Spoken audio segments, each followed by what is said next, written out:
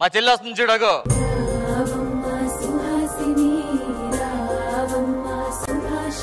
మా చెల్లి ఎలాగుందరా? చాలా అందంగా ఉందండి. మేకప్ లేకపోతే యావరేజ్ మళ్ళీ. మేకప్ లేకపోతే యావరేజ్ మళ్ళీ.